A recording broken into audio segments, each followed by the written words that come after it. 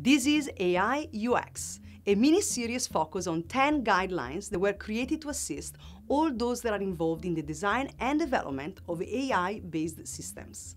I'm Daria Loi, an Intel researcher, and today I talk about guideline number six. Design systems that have consistent behaviors, yet designed for serendipity. In my research, people expressed a fascinating duality. On one hand, they asked for consistency and reliability in their AI-based systems.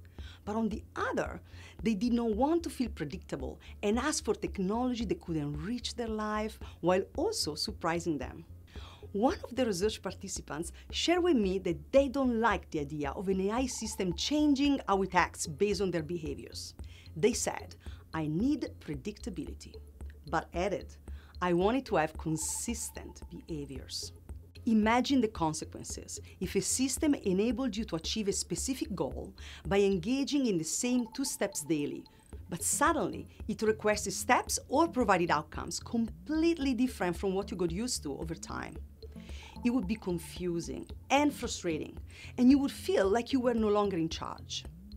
Routine matters, and a breaking routine is aggravating as users interpret sudden behavior changes as a lack of consistency. On the flip side, another one of my participants shared the interest in an AI-based system that could listen and adjust things accordingly. When they want to make a random decision or a quick adjustment, they expect the system to adjust and be able to enrich their lives by surprising them with the unexpected, as long as it is within their comfort zones, priorities, and established rules. Many participants share these sentiments, and this illustrates a duality between wanting AI systems to predict their behaviors while also being serendipitous. Remember, the human behavior cannot always be predicted. With this duality in mind, it is important to balance these contrasting perspectives in your user experience design. Thanks for watching. Don't forget to like this video and subscribe.